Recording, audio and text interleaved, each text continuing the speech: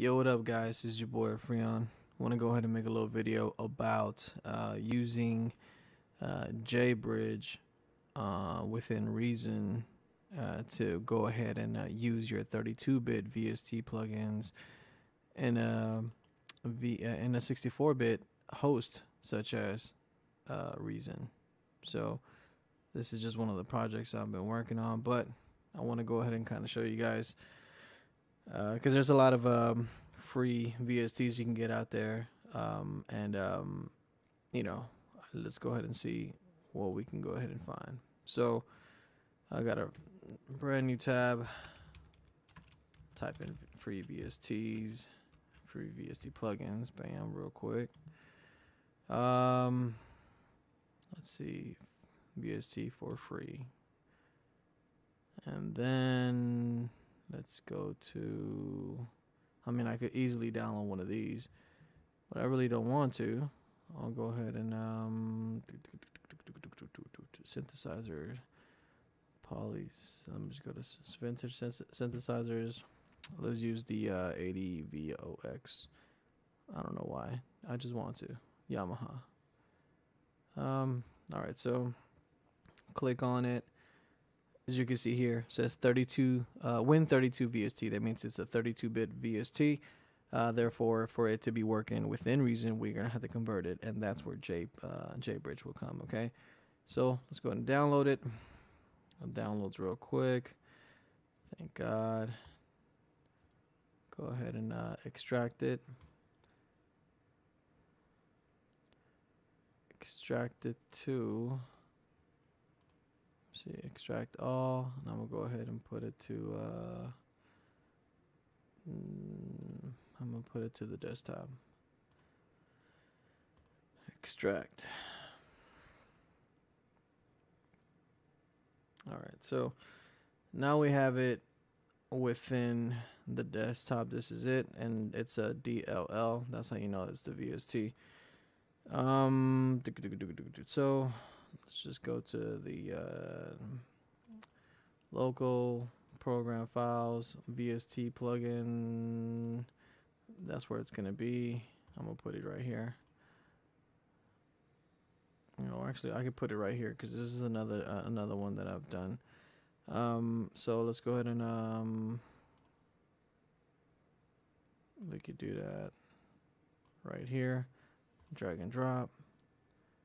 So I have it right here and I'll go ahead and make a new folder and this is because I want to keep it in the same folder um, and you'll see why. Um, so let's just lower that down. We're gonna open JBridge and thankfully I have uh, one of the versions that was free. I think now you have to I think now you have to go ahead and um, pay for it. I think it's like 15 bucks or something like that. Um, if you can't pay for it, that's awesome. You know, it's a pretty cool uh, uh, program. So thank the guy who did it. Uh, so here, once you open it, select your VST host architecture. Uh, uh, it's a 64-bit. Uh, most of this stuff, I kind of, if you want to look into it, you know, you can certainly do that. Um, in the meantime, I'm just kind of leave it all the same. And I'm going uh, create bridging files inside a directory. I'll specify. So I'll select this. I'll go to my local disk and go to the VSTs. Awesome. So it says uh, select VST plugin, plugin or plugins to be scanned uh, a directory or a single file. So I'll select the single file. Okay, then another one's gonna pop up, and if I try to do it in the same folder, uh, if I just like like this is a folder, is gonna tell me a, an error. I think. Yeah, the destination directory cannot be the same than the original directory. Please select another directory. So because of that, I'll go ahead and make a, um, I'll just lower this down and then I'll make a, um, make a new folder here and I'll go ahead and put the, um, I'll put Yamaha 80 synth. You can put whatever you want. I'm just putting this just to kind of, you know, Uh because uh, I know it's a Yamaha 80 synth. So I'll just select that. I'll press OK. Then right now it's analyzing the file, one file or files bridged for using in your 64-bit VST host. So um, basically that's done. Um, I've already that's the whole purpose of JBridge. Um, but uh, since I already had this file open, um, you won't see it within here within your instruments. Uh, you'll see the older ones like this is the VST, you know, because it has a little VST, a uh, little corner, blue corner right here. Uh, you won't see the new one. So basically, I would have to open up a new one. Uh, actually, no. Um, I wouldn't be able to do that. Um, I have to close the whole thing and and then do it uh do it again. Um, just to make sure uh, that it, the folder is being scanned, go to the edit uh, tab, then uh, uh, preferences, go to the uh, advanced tab, and at uh, at the bottom you'll see the VST plugin folder, and you see you notice I have two of them. One of them has a little space. The one that has the space is the one that I put it on. So Thankfully, it's already checked, so all I have to do is just close up, close it. Uh, go ahead and and um, and relaunch the uh, the program.